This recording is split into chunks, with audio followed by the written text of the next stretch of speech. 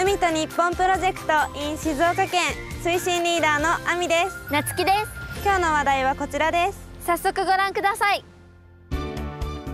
海と日本プロジェクトでは日本財団旗振りのもと海で進行している環境の悪化などを自分事として捉えてオールジャパンで海を未来に引き継ぐアクションの輪を広げる活動を行っています。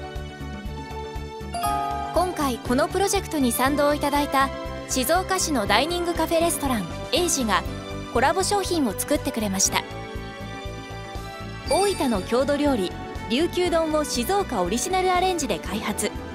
その名も琉球のっけ盛り定食。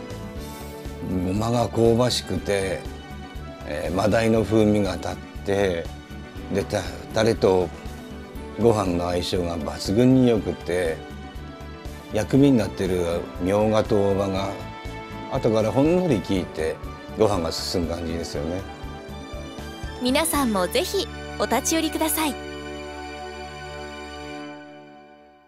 他にも海と日本プロジェクト公式 YouTube チャンネルでいろいろな動画を配信中です。ぜひご覧ください。海と日本